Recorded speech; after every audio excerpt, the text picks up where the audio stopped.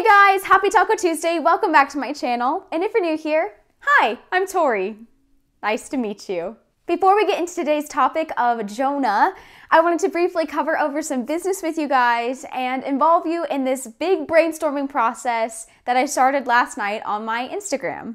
So, the whole purpose of this YouTube channel and my Instagram account is to inspire people to want to get to know God on a much deeper level and to show that the Bible holds just as much relevancy today than it did when it was written several hundreds of years ago. And so the Bible is so vast, it is full of so many truths, so much information, so much history. And there are a million places that I could begin but because you guys are the ones that are watching, I want you guys to be getting the most out of my content. And so, with that, if you have absolutely any ideas for what you want to see, things that you wish were on YouTube that you don't see or you haven't seen quite yet, or questions that are theological, questions that are kind of fun, questions that are controversial, absolutely any video idea that you have, I want to hear it, and I'd love to brainstorm with you. I'd love for you to be a part of this thinking and creative process because we're all here to get closer to God together. And so, even though the question sticker on my Instagram is no longer up, I would love it if you would DM me any ideas you have at my Instagram at my God Moments. And if you have any ideas and you don't have Instagram, feel free to put anything that comes to mind in the comments down below. And so, with that, we can now get started on today's topic of conversation, which is the book of Jonah. The book of Jonah can be found at the end of the Old Testament, along with the other minor prophets, and it is only four chapters long, which means you could easily read it in one sitting. A little bit of background into what the story of Jonah is all about, in case you have not read it before, is that Jonah gets a calling from God to go to a place called Nineveh and preach to the people there because they don't really know who God is and so Jonah has this mission from God, but Jonah decides to run away to this other place because he does not want to fulfill the calling God has put in his life. So, what ends up happening because Jonah ends up disobeying God and running away from his calling, Jonah ends up getting eaten by a giant fish. And disclaimer, it is not a whale. A lot of people like to tell the story as if Jonah's in the belly of a whale, but the Bible never says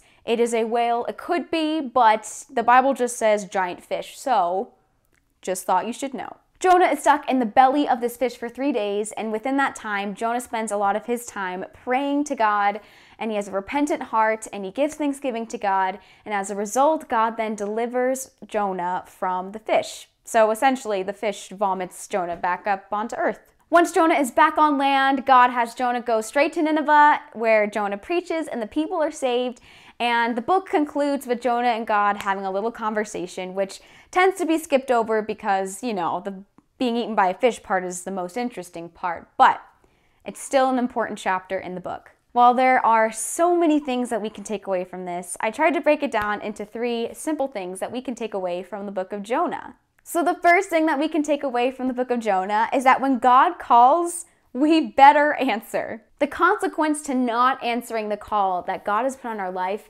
is missing out on a life that is purposeful and abundant life because of our own unbelief or our own laziness or even our own pride. What Jonah needed to understand was that God was the creator of life itself. So God knows how to live.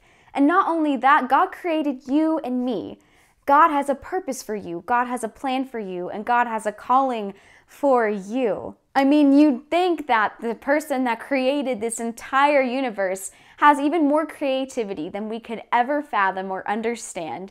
And so, naturally, his plan is going to be far better than anything we can dream up ourselves. So, we gotta trust him. I mean, I don't know about you guys, but I would much rather be living a life that changes other people's lives for the better than sitting in the belly of a fish. The second thing that we can take away from the book of Jonah is to learn to have a repentant heart. When Jonah was in the belly of the fish, he spent his time in there reflecting a lot and just giving praise and thanksgiving to God. And not only that, Jonah had such a repentant heart, and it was because of his heart that God delivered him back, and Jonah was still able to do his initial mission. So it's not so much that Jonah has this power to deliver himself because he had a repentant heart, but it's more that God loves to honor a heart that is honest, a heart that is faithful, and a heart that is loving and trusting in Him.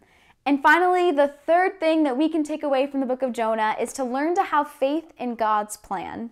In chapter 4, Jonah has a little heart to heart with God and is like, God, I don't understand why you wanted me to preach to the Ninevites because I knew you're compassionate, I know you're loving, so why did you make me go? You would have forgiven them anyway, which definitely is an understandable argument. God responds at the end of chapter 4 and basically says he cares about the Ninevites and he questions Jonah's anger, really.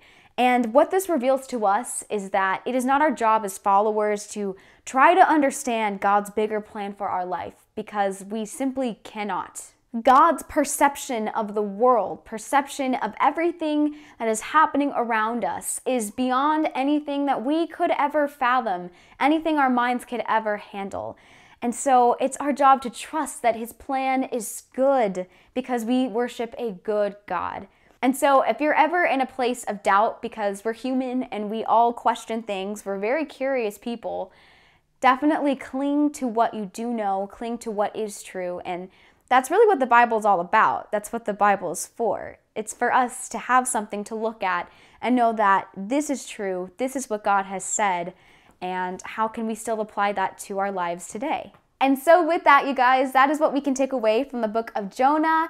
I hope that you feel encouraged by this video and that you go ahead and try reading it yourself. Shout out to my sister for graciously providing me her bedroom for filming because she's got this gorgeous Great Wave tapestry that I felt was very relevant to today's video topic. Please subscribe to this channel if you want to see more content. I post Christian related content every Taco Tuesday. And don't forget to send me any ideas that you have so I can add them to my long list and see if I can make it happen. I hope you all have a blessed week and I will see you next Tuesday.